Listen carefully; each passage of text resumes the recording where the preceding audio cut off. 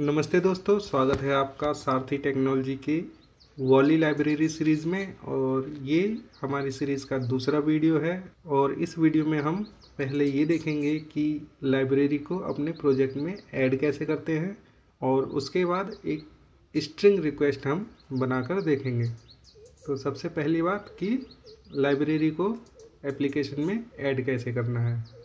तो मेरा हमेशा से ये सजेशन रहा है कि कभी भी आप किसी लाइब्रेरी को ऐड करें तो उसकी ऑफिशियल वेबसाइट पर जाकर चेक कर लें कि लेटेस्ट वर्ज़न कौन सा चल रहा है। तो यहाँ इसका जो वेबसाइट है, वो है Google dot GitHub dot I O forward slash Volley इसमें नीचे जब हम आएँगे तो यहाँ पर हमें इसका latest version one two one ये दिखाई दे रहा है। तो हमें जस्ट इस लाइन को ही कॉपी करना है यहाँ से। और अपने एंड्रॉयड प्रोजेक्ट में यहाँ से ओपन करना है ग्रेडल फ़ाइल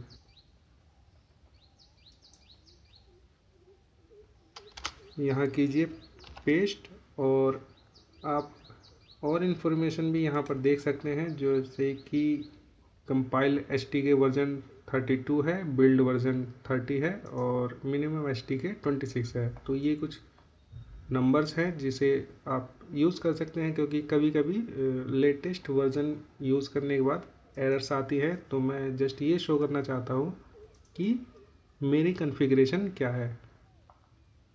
तो इसको पेस्ट करने के बाद हमें क्लिक करना है सिंक नाव पर।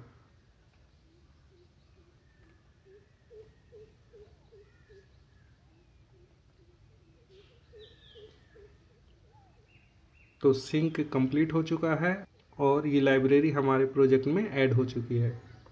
क्योंकि हम नेटवर्किंग का काम कर रहे हैं, इसलिए हमें एक नेटवर्क परमिशन ऐड करनी है, जो कि हम करेंगे मैनिफेस्ट फ़ाइल में। तो यहाँ पर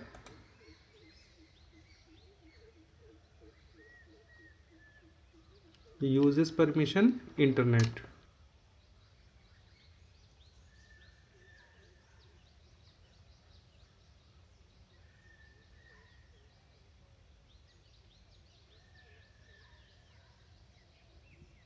तो सब कुछ रेडी है, अब हमें अपनी कोडिंग करनी है। इसको करेंगे बंद और इसे भी बंद। जावा से पहले हम चलते हैं एक्सएमएल फ़ाइल में और यहाँ पर हमारे पास दो कंपोनेंट्स हैं, एक है टेक्स्ट व्यू और एक है बटन तो जब भी हम बटन पर क्लिक करेंगे रिक्वेस्ट सेंड होगी और वहाँ से रिस्पांस में जो भी हमें टेक्स्ट मिलेगा, वो हम इस टेक्स्ट व्यू में शो करेंगे। तो आइए मेन एक्टिविटी डॉट जावा और यहाँ पर हमें सबसे पहले तो वो एड्रेस लिखना है और वो एड्रेस हम लिखेंगे, जो यू है वो एक स्ट्रिंग ऑब्जेक्ट में। तो जो एड्रेस है वो है ये, ठीक? तो W three W three schools dot com forward slash X M L forward slash note dot X M L तो ये एक एक्स एम एल फ़ाइल है, लेकिन इसको हम एक टेक्स्ट के रूप में यूज़ कर सकते हैं। तो इसको हमें कॉपी करना है और यहाँ पर पेस्ट। तो हमारे पास एक यूआरएल है जिसका यूज़ हम करने वाले हैं। नेक्स्ट थिंग हमें एक रिक्वेस्ट क्यू ऑब्जेक्ट बनाना है।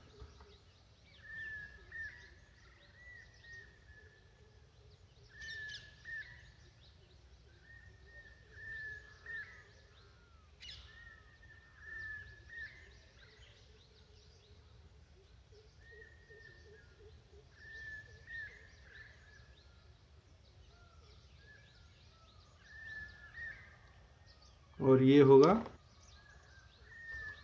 Volley dot new request queue. यहाँ इसे चाहिए कॉन्टेक्स्ट तो कॉन्टेक्स्ट इज़ दिस ठीक? अब हमें एक स्ट्रिंग रिक्वेस्ट ऑब्जेक्ट बनाना है और उसके लिए फिर हम यहाँ बनाएँगे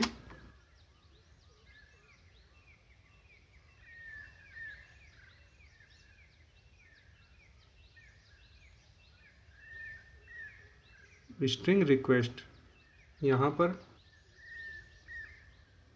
String request equal to new string request यहाँ पर इसे चार आर्गुमेंट्स चाहिए और मैं चाहूँगा कि आप चारों को बहुत ध्यान से समझें।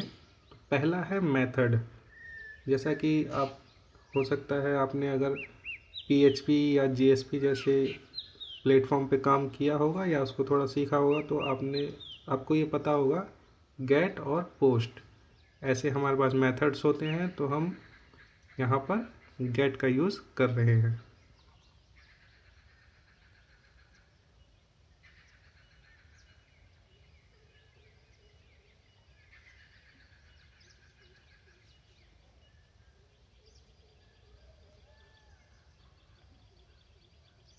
ठीक तो हमारा जो पहला आर्गूमेंट है, वो है मेथड उसके बाद इसे चाहिए यूआरएल तो यूआरएल हमारे पास रेडी है।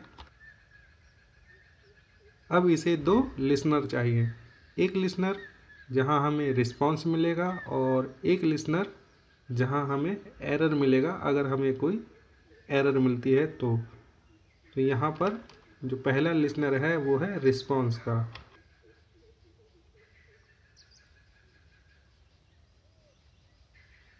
ठीक, और इसके बाद यहाँ पर लगाएँगे कॉमा और दूसरा लिसनर एरर के लिए।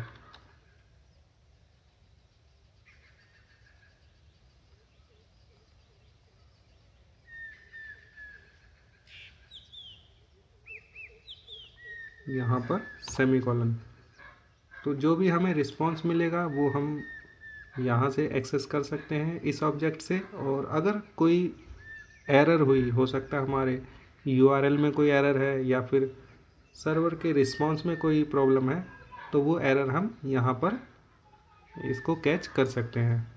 तो रिस्पॉन्स में हम यूज़ करेंगे टेक्स्ट व्यू, सेट टेक्स्ट।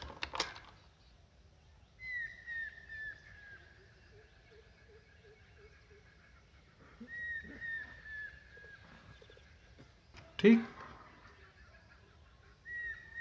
और एरर के लिए भी हम सेम टेक्स्ट व्यू यूज़ कर सकते हैं। सो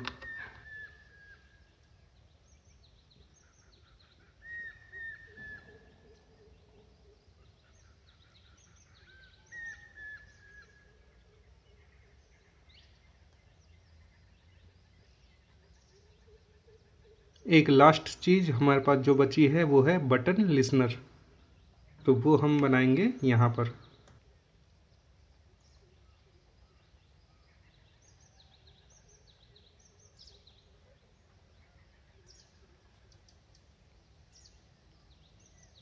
और जैसे ही बटन क्लिक करेंगे, हम बटन क्लिक पर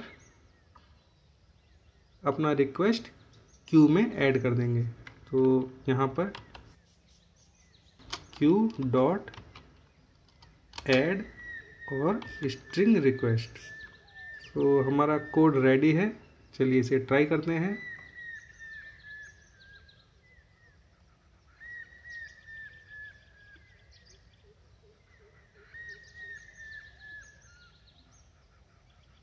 तो प्रोजेक्ट चल रहा है हमारा। तो यहाँ पर देख सकते हैं हमारा प्रोजेक्ट रन हो गया और अब हम क्लिक करने वाले हैं इस सेंड बटन पर। और रिस्पांस में हमें ये टेक्स्ट मिला है। तो दोस्तों, ये था स्ट्रिंग रिक्वेस्ट अगले वीडियो में हम जेसन रिक्वेस्ट के बारे में सीखेंगे। तो अगर आपको ये वीडियो पसंद आया है तो लाइक बटन को थोड़ा सा हिट कर दीजिए। इस चैनल को सब्सक्राइब कर लीजिए और इस वीडियो को अपने दोस्तों के साथ शेयर भी कर सकते हैं। मिलते हैं नए वीडियो में। तब तक के लिए नमस्कार।